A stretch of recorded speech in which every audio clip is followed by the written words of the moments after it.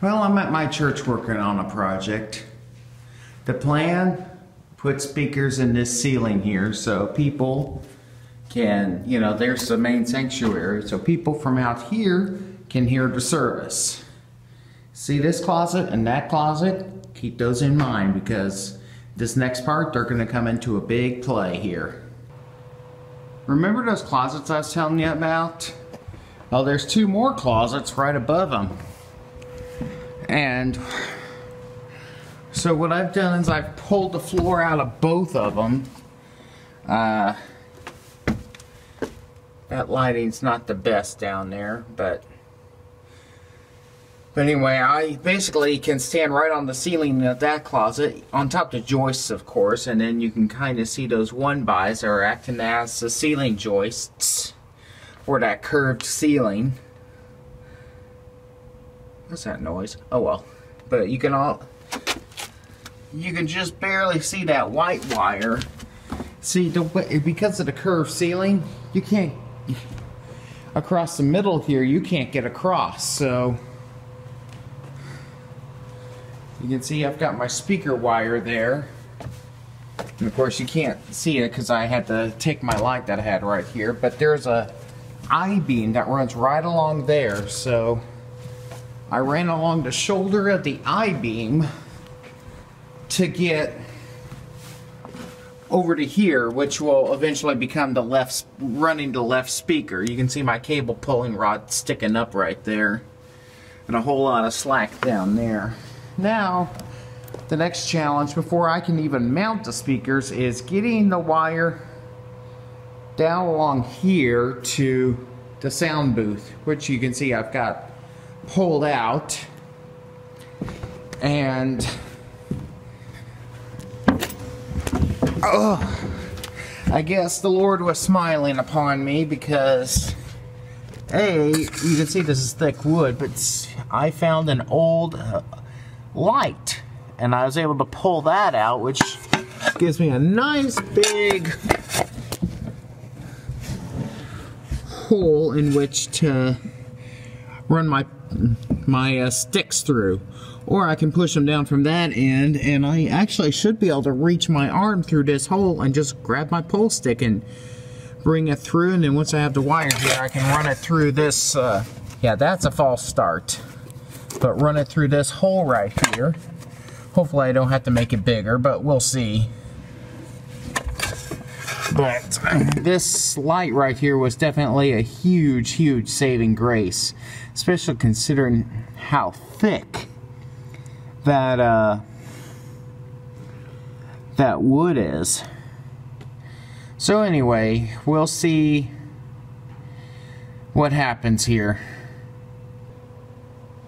Well, you can see I got the wires out my hole. Now I'm gonna out the hole that I drilled anyway. Now I'm going to get that um, light back in place. I'd like to staple those wires, you know, inside, but that's not going to happen. So I'm going to just assemble this as best I can. And these wires are pretty um, brittle and don't feel very um, reassuring. And those wires are on a switch that's still hot. So I'm going to talk to the head of trustees and say, hey, um, some of that's a little scary. Um, should we just maybe disconnect that? Because this light's obviously not in use. Its twin on the other side there has actually been... Um, they actually took out the light and put in a wall socket. So I'm not quite sure what the purpose of that was. But I'm after seeing this, I'm not comfortable with the idea of it being live. So I'll talk to... Um, the head of trustee, see what he says. Anyway, I'm going to reassemble all this, and I don't even know what time it is now.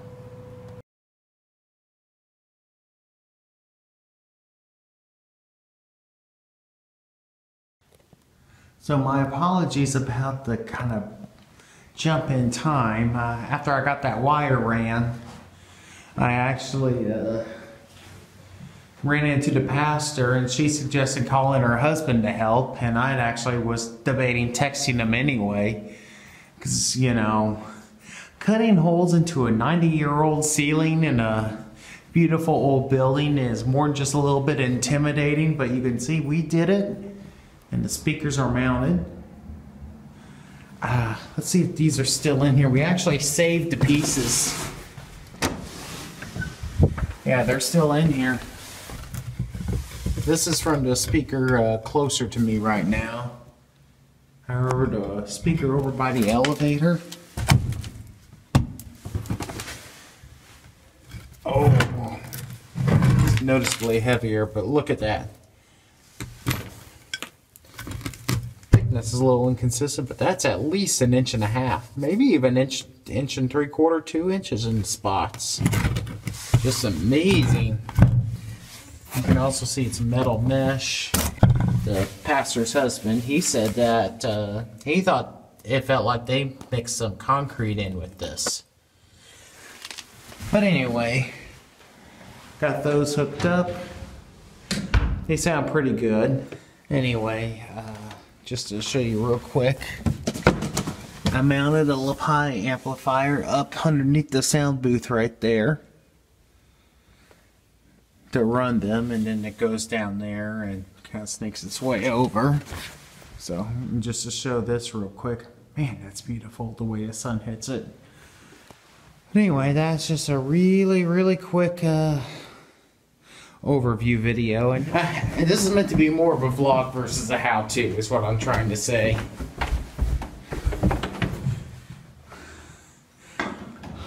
This one Came out pretty good. This speaker over here, there's some marks on the ceiling. We're gonna have the custodian get up there and just uh, touch up the paint. Apparently that's what painting is something he likes to do, so it shouldn't take him very long to go around there with some paint. I said that these speakers are, these are paintable, but they want to keep them white actually.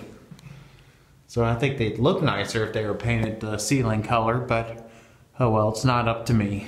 Either way, I could try and pl could play a demo, but you wouldn't really be able to hear anything over YouTube.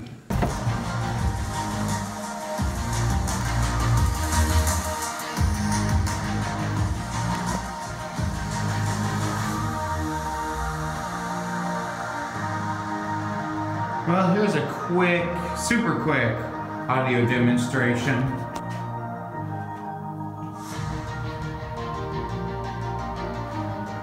Just quickly looked up some NCS music. I'll take a picture of the page so I can credit it.